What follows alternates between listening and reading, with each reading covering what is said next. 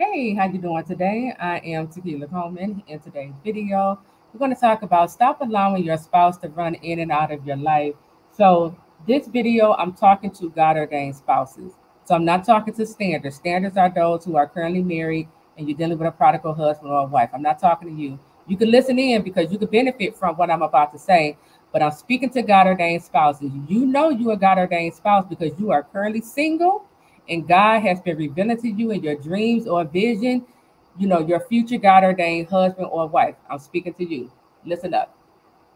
Some of you are obedient to this divine separation, but then there's others who still allowing this prodigal to run in and out of your life, and it's frustrating you. You're getting upset with God. You know, um, you feeling not good enough, and you got to begin to understand.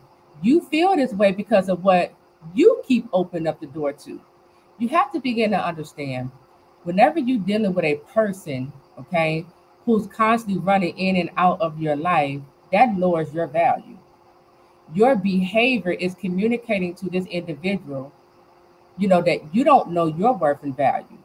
Your behavior, because you keep opening up the door to this disrespect, this mistreatment, you allow this person to keep you as an option.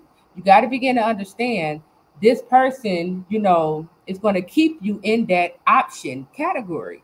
Okay. You give them no reason to change because this is what you accept.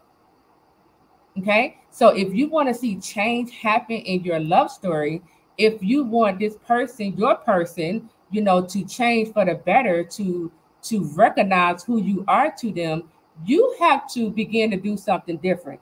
You have to be willing to leave you have to be willing to let this person go. And for some of you, you have a fear that if I let them go, they're going to marry the counterfeit. You have to even be willing to allow this person to marry a counterfeit, right? Because it, it goes right back to because I know my value. I'm not going to hold on to something that no longer serves me. I'm not going to hold on to the very thing that keep breaking me down just because I'm afraid you might marry a counterfeit. Go marry that counterfeit. If that's going to save me peace, hey, I want my peace. I'm gonna choose peace. Okay, if that's gonna help, you know, if I gotta let you go in order for my self-esteem to stay intact, hey, peace, you gotta go, right? So we gotta begin to understand. Okay, you gotta begin to understand. You're not waiting on God in this love story. God waiting on you. He waiting on you to give up your Isaac. God asked Abraham, well, he told Abraham, he said, Go take your son, your only son, and sacrifice him. He was testing Abraham's heart. He was testing his heart to see, do you love your son more than you love me, the one who gave you this son, right? And God is testing many of your, your hearts. He, he's telling you, let him go. He's telling you, go in divine separation. Some of you, like I said, you're you're obedient to it. Other, you know, you go in there for a week, you come back out. You know, you can't stay out of that kitchen, right?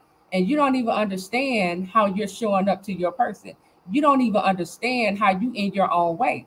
You don't even understand how, you know, you can help this person. You can let them know how you praying about them, support them, be they ride or die. But let me tell you something. When you doing all this and you accepting less than best from this individual, that person, your prodigal, know they should be giving you their best. But they trying to see what are you willing to accept. And if you keep on accepting less, less is what you're going to continue to get. I need you to understand this, okay? So God said, You are fearfully and wonderfully made. He said, You are the apple of his eye.